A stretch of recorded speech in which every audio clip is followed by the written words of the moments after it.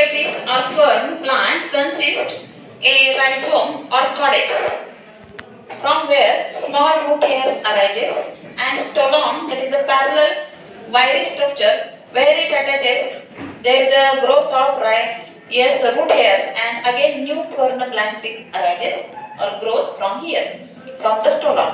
Here what is the function of root hair to absorb water and mineral from the soil? What is the function of this rhizome? It gives support anchorage to the plant body and on upper side of the rhizome spirally arranged here compound leaves are there. Each compound leaf consists part with small leaflet called as a frond.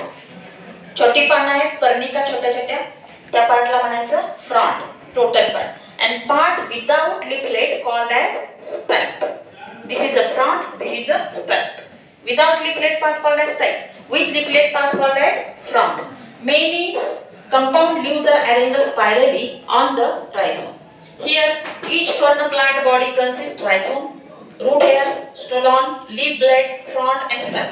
Rhizome or cortex is brown in color, hard part from which root hairs arise.